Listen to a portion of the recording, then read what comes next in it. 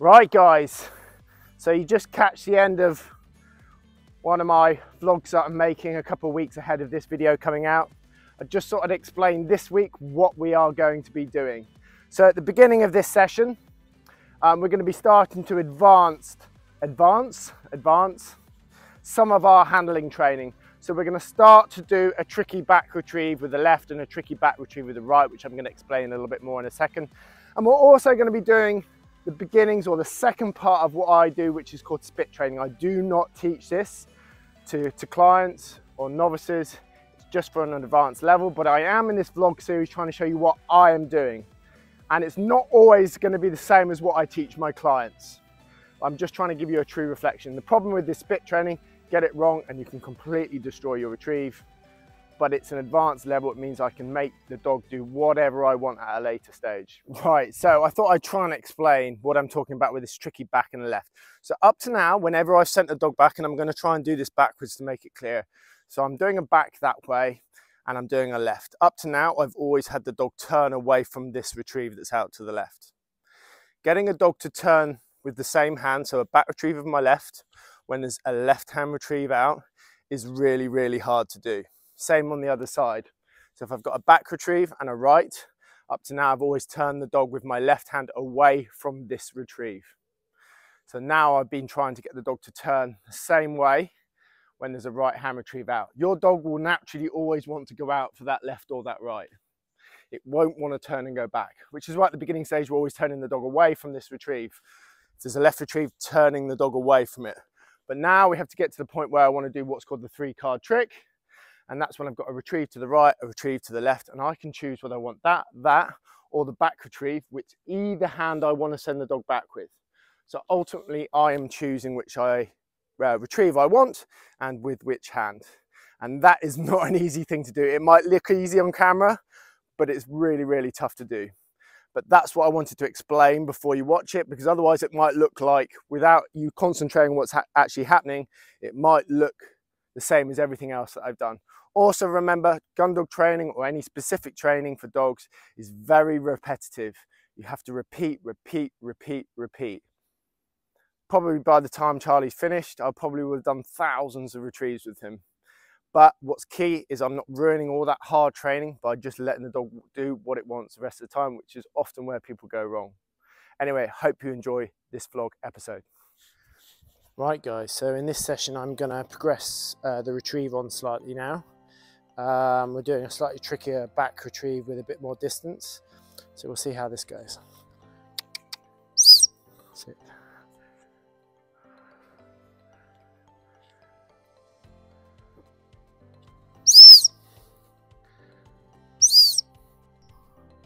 Right. Good boy. So I'm working on the delivery a little bit now. I'll shoot past him and then I'll stand up. Sit.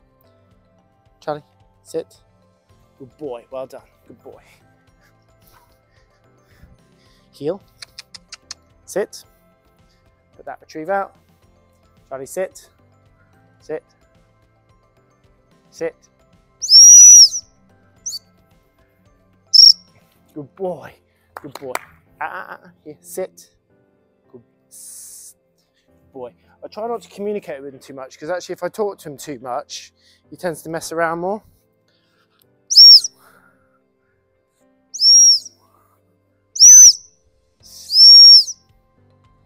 Right, right. Good boy, good boy, good boy. Well done. Uh, uh, uh, Sit. Now, the reason why I don't blow my stop whistle when he's in front of me is because I'm teaching him a spit command on the stop whistle. So if I blew the stop whistle in front of me uh, when he sat, he would spit the retrieve out now, and I don't obviously want that. That's for something else. So I just use a verbal sit when that happens. Sit. Charlie, sit.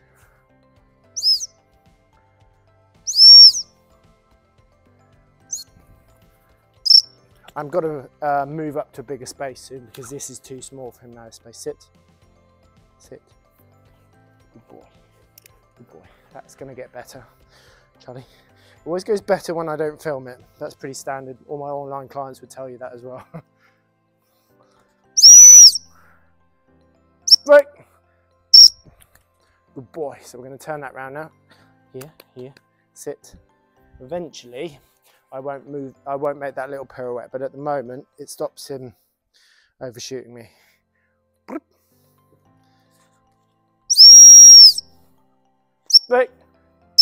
Good boy. Good boy. Ah, ah, ah. Good boy. Sit, sit.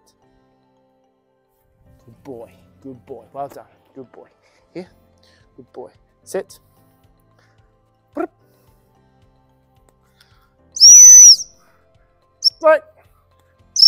Good boy. Good boy. Ah, ah, ah, ah, ah, ah. Sit, sit, sit. Good boy. Well done. Good boy. That will get better. Eventually it'll be, Charlie, eventually that'll be nice and neat. Sit.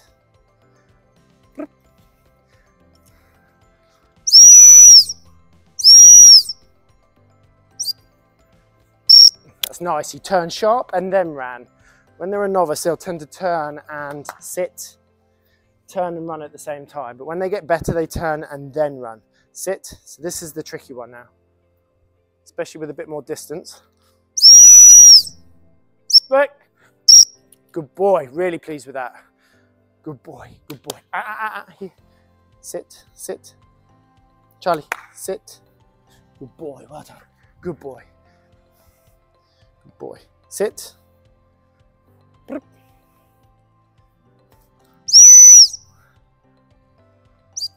So I made him think I might send him back with my right hand that time and then changed my mind and used this hand instead. Sit, Charlie, sit. Good boy, well done. Good boy, well done. Good boy. Good boy. Heel. Sit. So you will have noticed there that I'd put in a loud clap. And that's to slowly start working towards the dog associating hearing a retrieve go out and there being a bang later. Right. Ah, ah, ah, ah. So he still made a mistake there. To bring him back to the spot. Good boy. Sit. Try again. Right. Good boy. Good boy. He's still to make the odd mistake. It's fine. It's all learning. Sit. Good boy. Well done. Good boy. Good boy. Good boy. Good boy. So we're going to do some interesting work now. So I've covered this a little bit. It's basically anytime he hears the hump whistle, he's allowed to pick it. If I blow the stop, he has to stop. So I'm going to take his lead off first. Good lad.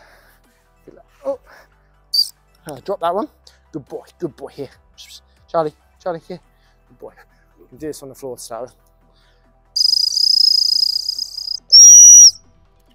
Good boy. So on the stop, ah, on the stop whistle, he has to spit that. This is the problem. I don't normally talk when I'm doing this, so I might go a bit quiet now. Here we go. All the time he hears that hum whistle, he can pick it. Good boy, well done. If I blow the stop whistle, he must sit. If the, if the retrieve's in his mouth, I've now got him to the point now where he'll spit it out for me.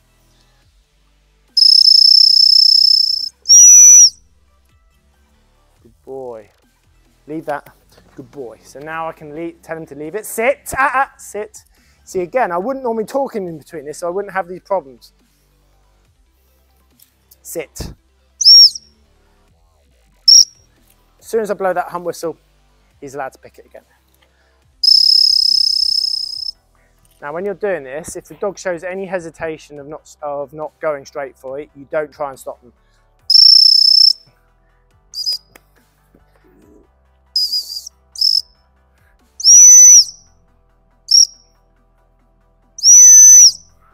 Sit. Good boy.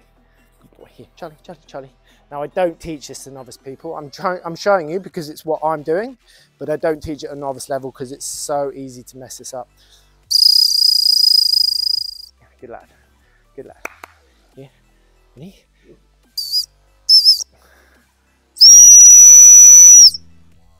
Leave that because uh, normally I would go around the other side and call him away from it so he doesn't have to go of it. So he went to try and pick it again then. It all happened a bit quick, but he then did come back. So I give him the release there to pick that again. He wants a drink. Let me see if he wants a drink first because he keeps going for the water bowl. Cut more like this and then I'm going to show you something else.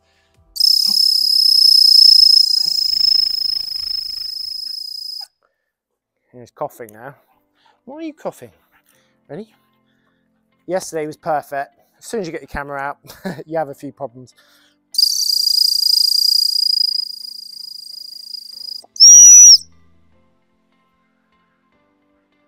Leave that.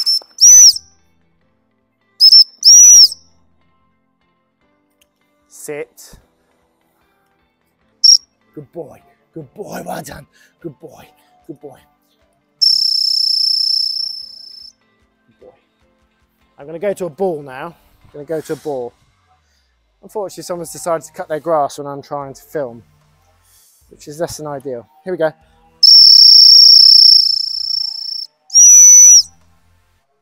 Do that. Good boy. Good boy. Right. Sit, Charlie, Charlie, here, sit, heel, heel. So I've taken the lead off now.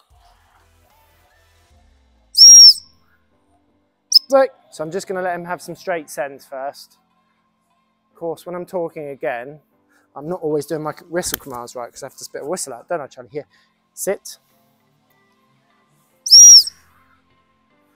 Right.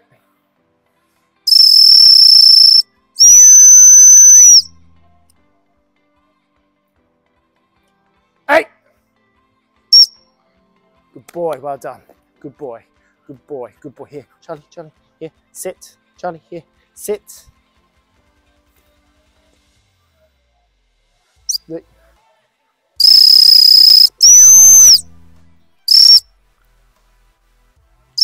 Good boy, good boy, good boy. I don't know if you saw that. Here we go again. Charlie, Charlie, Charlie.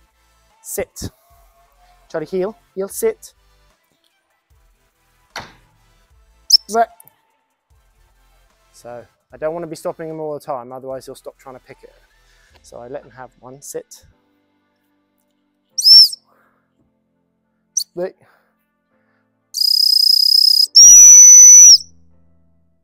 Leave that. Good boy, good boy, good boy. Well done.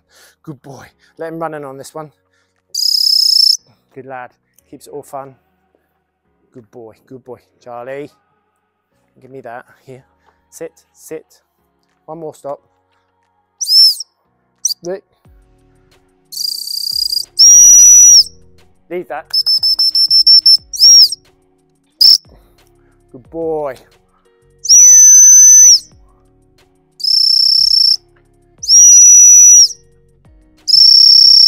Good boy, good boy, good boy, well done. Good boy, well done. Anyway, bit of demonstration of teaching the stop whistle, but this is more for later on, that I need to be able to stop the dog no matter what. If I'm picking a bird and it's alive or a bird runs and it's going near a road, most dogs, once they're locked onto a bird, will not stop. Okay, so I train at a very high level at the beginning. I get them stopping and this will progress through all the different stages. The first stage, is I need to be able to stop the dog at any point, even if he's over the top of the retrieve, and I need to be able to stop him even if the retrieve's in his mouth. So being able to make him spit a bird out or spit a dummy out, leave that, pick it, whatever I want, ultimately it means I'm in control, doesn't it, Charlie? Right, one more, I'll let you run in. Good boy, good boy, good boy. He's got his puppy teeth coming through at the moment, so he's fumbling a bit. But once they come through in the next couple of months, you'll be good, won't you? Good boy, Charlie. Taking it out of my bag. Well done, well done, well done. Hey guys, hope you enjoyed this latest vlog episode from Charlie's training. Just remember, you don't need to be doing the same level as me at the same point. I'm always saying to my online clients, if you are doing what I'm doing at 10 months, uh, when I was doing it four months, I would still be very, very pleased. I do work at a very, very quick pace, don't forget that. Anyway, hope you enjoyed. Don't forget to subscribe and like, and if you have any questions, perhaps drop them in the description below and I'll do my best to help you. Anyway, happy training, guys.